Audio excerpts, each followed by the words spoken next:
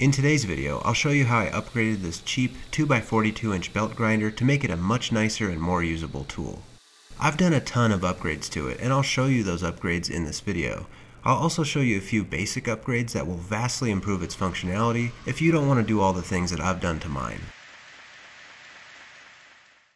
In order to demonstrate all of the upgrades that I've done, I'll revert the machine back to how it was when it was delivered. This is more or less how it arrived. I did remove the belt guards, but I'm not going to put those back on. You get the idea. I think this grinder is plenty usable just like this, but there are a couple very simple things that you can do to make it significantly better. The most important things being replacing the platen, the platen bracket, and making a new table. The platen that comes with the grinder is just this piece of thin graphite that sticks to the platen bracket, and it's basically worthless.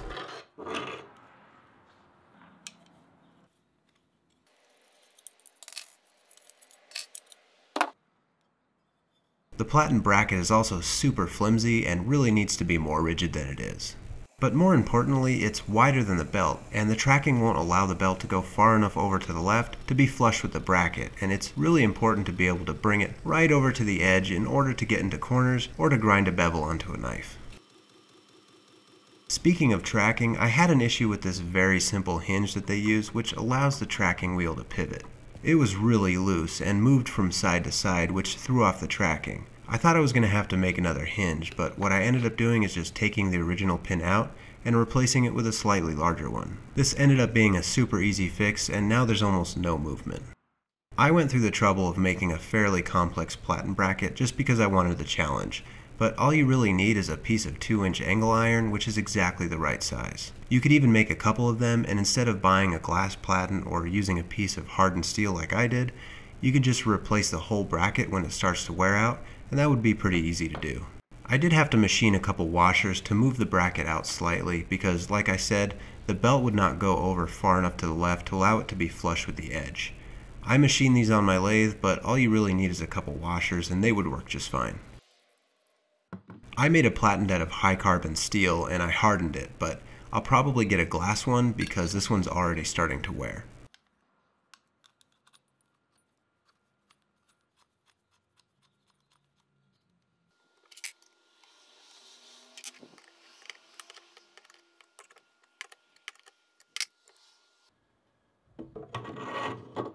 One of the best upgrades that I did was to swap out these flimsy 5 16 by 1 inch steel bars for 5 8 by 1 inch.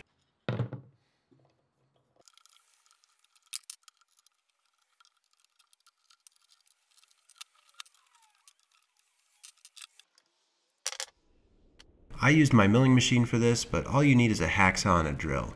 You don't need precision tools to do this. I just did it this way because it was good practice for me to make parts as precisely as possible.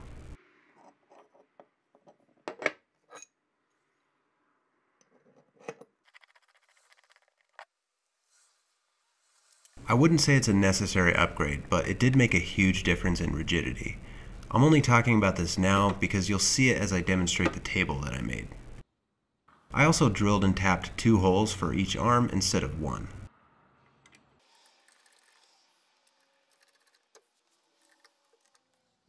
Here's the table that I made out of a piece of quarter inch steel plate. It doesn't tilt and that's something I'm definitely going to have to make in the future, but most of what I'm doing with this machine right now, I don't need a tilting table, so it's not really much of a concern. And the platen bracket does tilt, so I can get a few degrees out of it like that.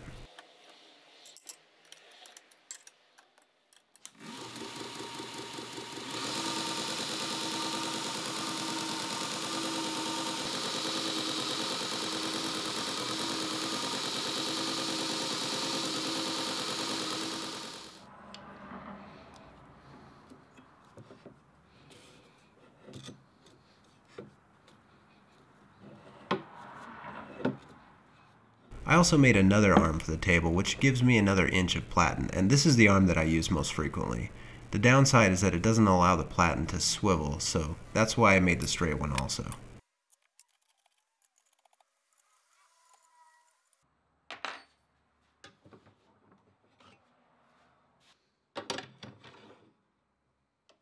So I think these are the most important upgrades to make this machine way more usable, but of course I did significantly more.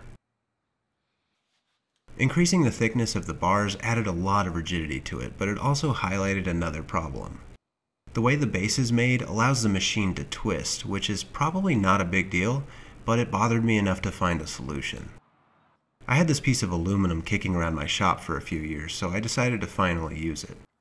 I drilled and tapped a couple mounting holes and then milled out some parts to give the hinges some clearance. I also had to make some spacers, which I made out of brass.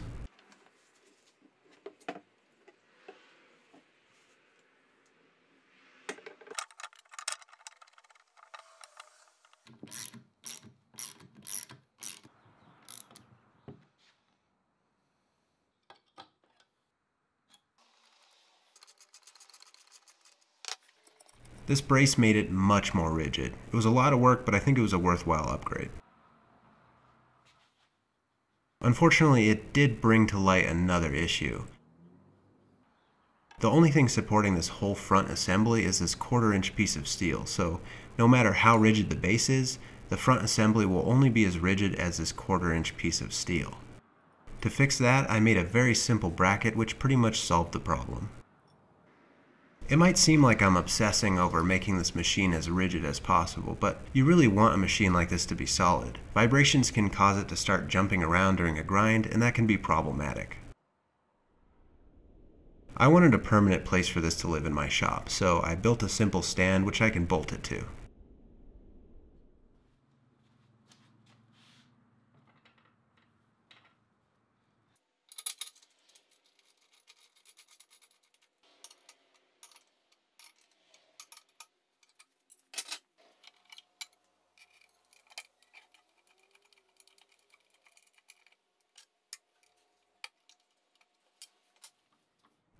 I also noticed that the tracking pulley arm was twisted in two directions. I probably could have flattened it out, but I decided to go ahead and make another one because it was pretty easy to do and only took me a couple hours. I also took the opportunity to drill and tap a hole for a finer thread for the tracking knob. I also noticed that this spacer was not quite long enough, so I machined another one to bring the tracking pulley in line with the other pulleys.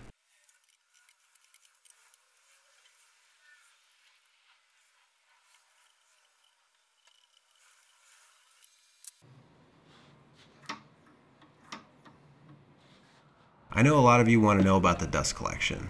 This was one of the first things that I made when I got this machine. It's a fairly simple setup. This is just a 3D printed funnel with some aluminum foil tape on it. And this is a 3 inch adjustable duct elbow that I found at my local hardware store. I had some of these glass jars from the dollar store, which I thought would work pretty well. Also, I thought them being transparent would make for some pretty cool footage, and I think I was right. I just cut a hole in the lid and used some aluminum flashing to hold it in place.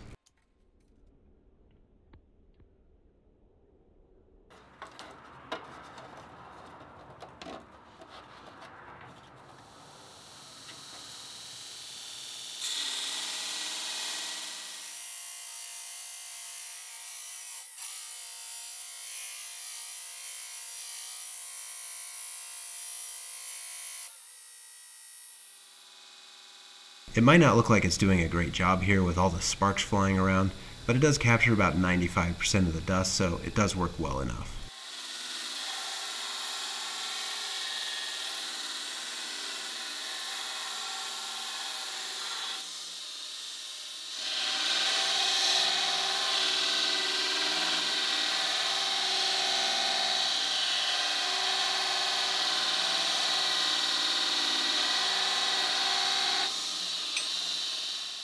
Here's a serious word of warning though. I had some sparks ignite some steel dust that was left in the jar, so if you do this yourself, make sure that you either empty it out and extinguish any embers every time you use it, or just fill the jar with water, which is what I've started to do.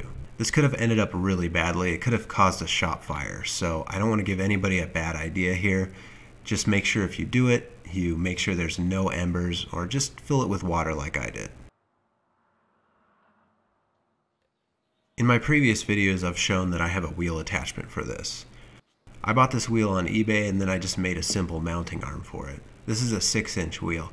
You can actually use an 8 inch wheel on this machine, but it's really tight. It's probably a better idea to use an 8 inch wheel with a 48 inch belt, which you can also do.